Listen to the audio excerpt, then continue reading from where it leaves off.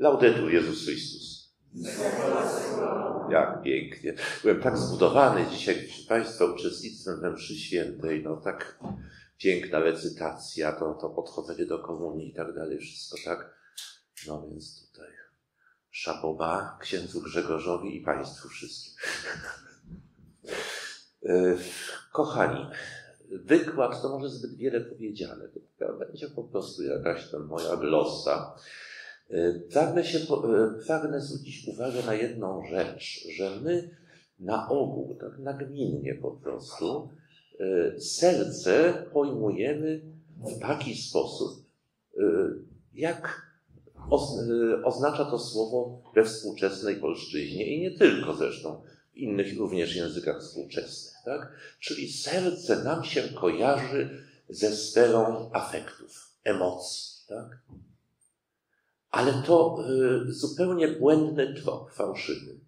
Ponieważ y, w biblijnym języku Kościoła to, co my y, zwykliśmy określać mianem serca, to są nerki.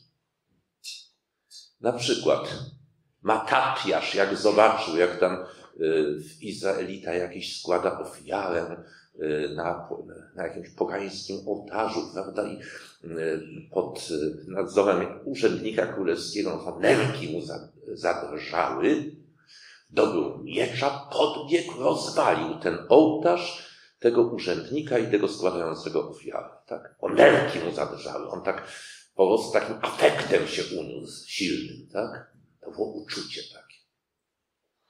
No ale inna, ale to są nerki właśnie. Natomiast serce w rozumieniu biblijnym, a to jest język Kościoła, prawda? W rozumieniu biblijnym serce to jest wnętrze, czyli cała mentalność nasza. To, co my w sobie gdzieś tam ważymy, do czego się przymierzamy, co tam y, wewnętrznie przedsiębierzemy, tam knujemy i tak dalej. Prawda? To, co niekoniecznie, y, czemu dajemy wyraz na zewnątrz, ale co w nas tam jest. I z sercem wiążą się nie uczucia w tym rozumieniu, lecz swobodne, wolne decyzje woli właśnie. To są akty woli. Dlatego też, no ja też kiedyś rozumiałem w ten sposób Y, serce Jezusa gorejące ognisko miłości, no gorejący, to ono tam po prostu tam się tak spala w tych jakichś uczuciach gorących, prawda, czy coś takiego. Y, no niekoniecznie. Oczywiście to serce wyobrażamy y, ikonograficznie jako, jako serce, prawda, tutaj to, tak? Oczywiście tak, ale, czyli ten mięsień sercowy, serce gorejące, no ono płonie tam, prawda, tak? Ale co to znaczy gorejące? To znaczy, że wewnętrzna charakteryzuje yy, Pana Jezusa wewnętrzna, paląca troska o nas, grzeszników. Ale to jest troska niezależna od emocji, tak? czy te emocje są, czy nie. Ona jest, ona jest zawsze obecna paląca troska, to znaczy troska, która nie daje, powiedzmy, y, jakiegoś tam odpoczynku, nie ma wakacji, nie ma, że boli.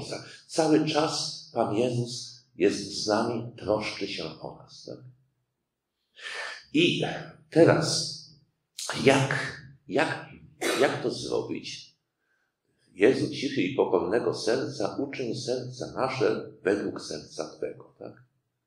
No, fałszywym tropem byłoby, no pokora się kojarzy z takim powiedzmy tam jakimś no, skromnisiostwem takim, tak, tak się kojarzy powszechnie. No więc tam, y, żeby uczynić serce nasze na, y, na podobieństwo serca Jezusowego, no to ja sobie tam usiądę na najniższym zydelku, chociaż mam wyznaczone miejsce prezydialne, tak? Bo ja jestem taki, patrzcie na mnie chłopcy, jak ja jestem pokorny, prawda? Jak ja się uniżam tutaj i tak dalej. Taka minę jeszcze skromnisiowatą zrobię, gdzieś tak się wtulę w ramiona i to. Nie, no to, to, to tutaj w sercu się nic nie zmieniło, jeszcze wręcz przeciwnie. Tam może, może w tym sercu akurat pycha zagościła w ten sposób, jak się każe podziwiać, jaki to ja jestem pokorny, prawda? Nie, to nie o to chodzi. Nie. serce, żeby uczynić na wzór serca Jezusowego własne serce, no jest oczywiście patrzeć na Pana Jezusa, starać się Go naśladować jak najbardziej, ale jest droga na skróty.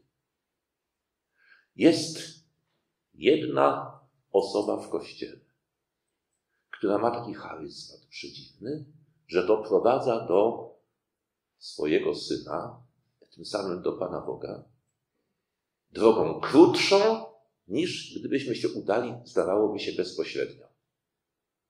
Kiedyś tam rozmawiałem z takim jakimś e, heretykiem, już nie pamiętam której denominacji, tam, bo tego są tysiące przecież, ale w każdym razie on tam mówił, po co ja mam przez sekretarkę y, rozmawiać z szefem, jak jestem, jak jestem z nim po imieniu, tak?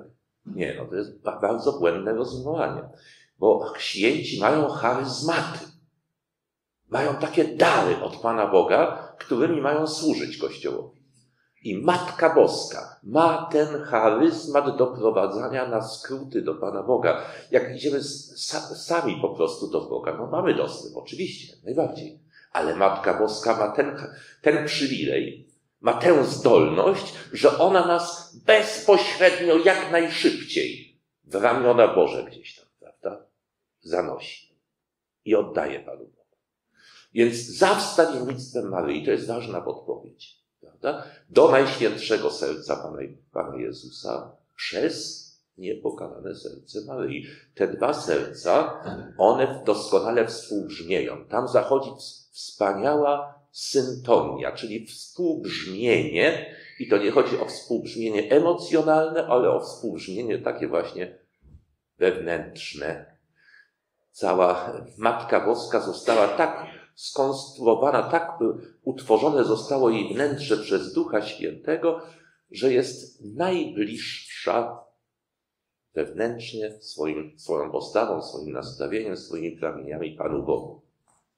Matka Boska właściwie z Panem Jezusem stanowi takie jedno i jej nie, przez jej niepokalane serce najprościej, najszybciej, najłatwiej trafić i móc naśladować najświętsze serce naszego Pana.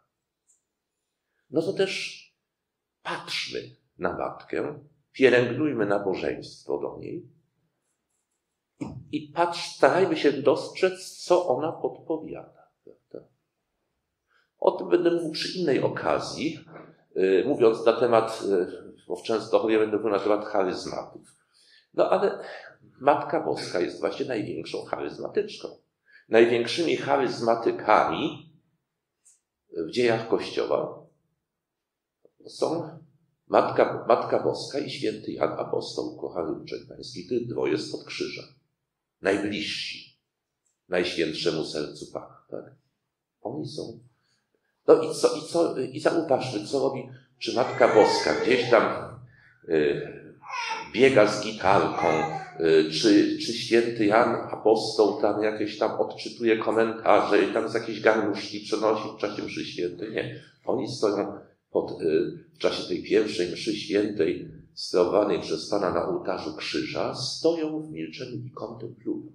Tak? Oni kontemplują, ale nie rozumieją wewnętrznie, o co chodzi doskonale. Czy można powiedzieć, że oni, że oni yy, nie uczestniczą aktywnie w tej pierwszej mszy świętej. Przeciwnie, to jest szczyt aktywności. Ale prawdziwa aktywność katolicka nie polega na jakimś tam bieganiu, wygłupianiu się, pląsach, oklaskach czy czymś takim, tylko polega na aktywności duchowej, czyli kontemplacji. I nieprawda, że dzieci niczego, te biedne dzieci niczego nie rozumieją, bo po łacinie dużo więcej rozumieją. Bo tam msza święta wymusza kontemplację. No i to jest znowu, znowu druga podpowiedź. Kontemplacja to jest sposób właśnie na to, żeby się upodobnić do najświętsze, nasze serca, do najświętszego serca Pana Jezusa, czyli swoje wnętrze jak najbardziej zbliżyć do Boga. To jest sposób, tak? Kontemplacja. I bierzmy sobie wzór właśnie z Matki Boskiej i ze świętego Jana Apostoła, prawda? Oni, oni Y, kontemplują i w ten sposób zyskują nadzwyczajną bliskość taką wewnętrzną, mentalną Panu Jezusowi. Święty Jan, no, a zresztą jest obdarowany szczególnie jako ukochany uczeń pański, no ale przecież on genialne rzeczy tworzy. Skąd u tego chłopaka coś takiego? Tak? Prosty chłopak młody. A pisze takie rzeczy genialne, że to bijący Wenetycy się zachwycają wstępem do Ewangelii Janowej, prawda? Apokalipsa to jest cała mądrość Pisma Świętego w pigułce. Y, to są niesamowite rzeczy. Ale to jest właśnie to serce, czyli wnętrze, udaje to upodobniające się do wnętrza samego Pana. Do tego, co, co Pan chciał, czego pragnął, co zamierzał i tak dalej. I my powinniśmy tym samym tropem. To nie ma być podobieństwo zewnętrzne do Pana Jezusa, chociaż jeżeli to też nie wiem nic przeciwko temu, ale to ma być podobieństwo przede wszystkim wewnętrzne. O to chodzi w sercu, tak serce. Kochani, ja na sercu noszę taki relikwiarzyk, pokażę wam. To jest relikwia pierwszego stopnia świętej niestety bardzo mało u nas w Polsce znanych ciągle. Cieszy się kultem raczej we Włoszech, głównie i w Hiszpanii, święta Gemma Galgani. Albo z włoska Santa Gemma, tak? Święta Gemma Galgani, Gemma znaczy klejnot, tak? No i powiem taką historię też związaną z tym, że jak, y, no ponieważ byłem, no, czy jestem zależy po, czy pod względem prawnym, czy pod względem istotnym na to spojrzeć, proboszczem parafii Najświętszego Serca Pana Jezusa, prawda, Bydgoskie w Zakreker, no to, chciałem zdobyć relikwie i napisałem, znaczy nie ja napisałem, tylko pewien kleryk wówczas IBP napisał po francusku do Francji, no i, i ja to tam posłałem prośbę taką o przekazanie relikwii Y, świętej Marii Małgorzaty Alacoque. Tak? No, odpowiedzi nie dostałem po prostu, tak jakoś tak. Nic nie przyszło z tej Francji. Ale ja jestem człowiekiem niewierzącym, znaczy nie wierzę w przypadki. Przypadki są tylko w gramatyce, a w życiu Pan Bóg prowadzi. Nie ma nic niczego przypadkowego. Więc y, to nieprzypadkowo y, moja prośba została zignorowana, bo miałem, okazało się, poznać właśnie tę świętą i jej relikwię Y, trafiły do naszego kościoła. Co miesiąc jest odprawiane nabożeństwo do świętej Gemmy z ucałowaniem relikwiarza i tak dalej. No i święta Gemma tam się zadomowiła, zagościła.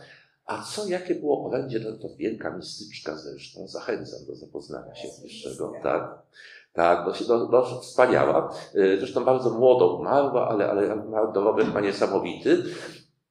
Mistyczka bardzo głęboka. No i świętej gęby, świętą gębę całe życie ożywiało jedno pragnienie, żeby wszystkich ludzi, wszystkich nas wprowadzić, jak gdyby, do najświętszego serca Pana Jezusa. Żebyśmy wszyscy zamieszkali w najświętszym sercu Zbawiciela. No, co to znaczy zamieszkać, prawda? No, yy, to no oczywiście nie fizycznie, nie, to, nie, nie w takim rozumieniu, tak? Ale zamieszkać to znaczy przebywać, poruszać się w obszarze miłości, pragnień, zamiarów naszego Zbawiciela. Tak? Poruszać się w tym duchowo. Przebywać tam na co dzień. No i właśnie, żeby to uzyskać, żebyśmy mogli wszyscy zamieszkać w najświętszym sercu Pana Jezusa, starajmy się jak najwięcej starać się, polecać się Matce Najświętszej, jej ufać i z jej pomocą właśnie zbliżać się. Przez jej matczyne niepokalane serce, z jej pomocą jak najwierniej, jak najmocniej zbliżać się do właśnie do tego najświętszego serca Pana Jezusa. Jeżeli będzie w nas, nie będzie w nas fałszu, jakiegoś tam zakłamania wewnętrznego, prawda? Tylko będzie szczere pragnienie zbawienia nie tylko nas samych, ale zbawienia innych, zbawienia bliźnich. To, co, to, co Pan Jezus na sercu Jeżeli, jeżeli będzie obecna w nas, ale to tak w sercu, z potrzeby też, modlitwa. Jeżeli będziemy żyli na co dzień kontemplacją, a to właśnie nam daje co przede wszystkim? Msza święta sprawowana godnie po katolicku i różaniec.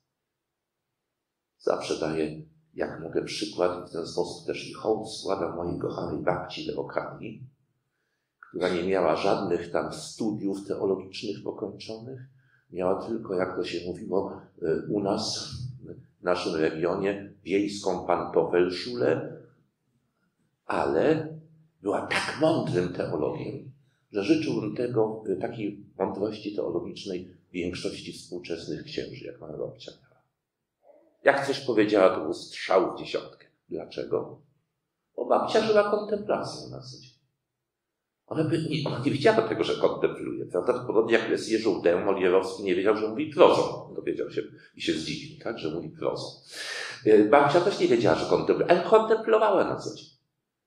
Bo codziennie tam dreptała, bardzo blisko zresztą mieszkała, do kościółka, jak to mówiła, tak, tak, na mszę świętą, no i różaniec, prawie go z rąk nie wypuszczała. Żyła, rozważała tajemnicę różańca świętego. Robiła to, robiła to na co dzień, prawda? Żyła mszą świętą też, tą najświętszą ofiarą i kontemplowała, czuła, rozumiała to wewnętrznie, co się tam, co się tam dzieje. I my dzięki temu, właśnie dzięki takiej kontemplacji, dzięki temu wewnętrznemu zrozumieniu istoty Najświętszej Ofiary, dzięki rozumieniu, rozważaniu i rozumieniu tej wszystkich piętnastu tajemnic różańcowych, zachęcam do odmawiania całego różańca. Teraz staram się odmawiać trzydzieści dziesiątków, no bo tak jeszcze, jeszcze nowenna pompejańska mi doszła, no a, co, a co, co by to była za nowenna i co za ofiara, gdybym to robił zamiast normalnego różańca. Staram się codziennie cały, cały ofiarować, czyli wszystkie trzy części, tak? Y, no, e, zachęcam do tego też, do życia? Do życia tym. I to jest właściwie y, msza święta i różaniec, to jest i oczywiście nabożeństwo szczególne i ufność pokładana w Maryi, to jest droga do tego, abyśmy serca nasze pozwolili Panu naszemu uczynić według Jego najświętszego serca. Ja bym miał tyle, bo mówiłem, że to raczej glosa niż wykład, ale jeżeli są jakieś pytania, spostrzeżenia, to bardzo proszę.